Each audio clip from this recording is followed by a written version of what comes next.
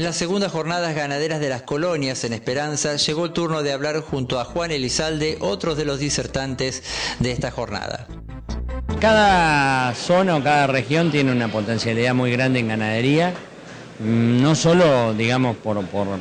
la nueva tecnología que se va generando en cada caso, sino también porque son sistemas que hoy tienen una producción de carne que está muy por debajo del nivel óptimo que se podría lograr. Entonces, este, cualquier mejoramiento hacia llegar a un nivel intermedio óptimo y después este, apelando a nuevas tecnologías para poder este, eh, progresar en un nivel superior es bienvenido. El potencial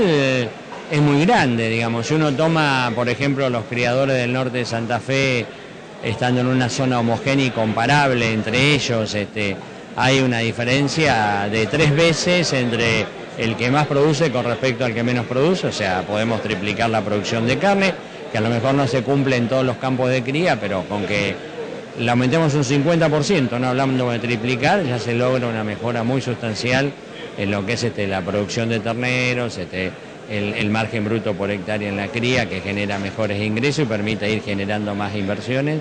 Y en el caso de las recrías, en general la brecha es aún más grande, o sea, eh, entre, considerando una zona, una misma zona, hay diferencias productivas de cinco veces entre el que menos produce y el que más produce, con lo cual este, hay un potencial aún más grande todavía en recría que, que, en cría. Y el engorde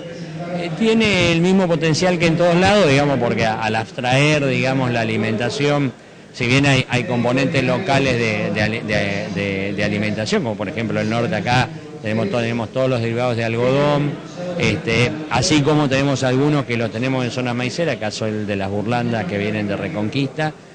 Pero el filo al aislar un poco eh, la condición climática, el filo primero cumple una función muy, muy importante que es un pulmón frente a contingencias climáticas que son los problemas más graves que tiene el norte, es decir, sequía eh, que se suceden con inundaciones, el filo es un regulador de carga bastante importante. Y por otro lado este, tiene recursos como para, para tratar de trabajar con, con esos campos de cría y de recría que están un poco diezmados por esas contingencias climáticas malas que sirve, digamos, para regular carga y volver a después trabajar en el campo o para terminar animales a corral para no tener que depender de una base forrajera muy endeble que es la que queda después de, malas condiciones de crecimiento de pasto.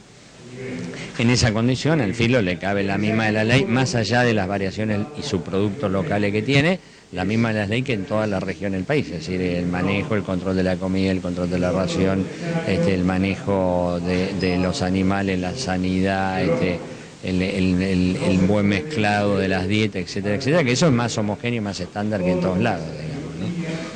Ya que me estamos hablando justamente del norte santafesino y, y algunos cultivos que usted me menciona regionales, caña de azúcar, que en los últimos años viene muy, muy golpeada. ¿Sería una buena alternativa volcarlo hacia justamente eh, convertirlo en carne? Digamos? Sí, sí, es muy buena alternativa. El único problema es que las zonas cañeras justamente no tienen zonas ganaderas al lado. Es decir, este, hay otras provincias, como por ejemplo el caso de Misiones, hay campos ganaderos que plantaron la caña para hacer silaje de caña en un intento de sustituir lo que para la pampa húmeda, incluso esta zona, es el silaje de maíz. Pero ahí fue distinto, así como tengo los animales, me conviene la caña, planto caña. Acá tengo la caña, pero tendría que tener animales cerca como para picarla, ensilarla, es un material húmedo, con lo cual no podría tener muy lejos la provisión de animales ni establecer los corrales para que la caña no tenga que viajar mucho. Y el problema es que donde están las zonas cañeras eh, no es mm, lo suficientemente agrícola como para generar una cantidad importante de grano. Entonces, eh, esa zona está más complicada porque si bien la caña de azúcar tiene un potencial muy grande para poder transformarlo en carne, el problema que requieren es una transformación regional o zonal bastante fuerte, como instalarle el filo, este, proveerle grano para que la, actividad la empiece a utilizar.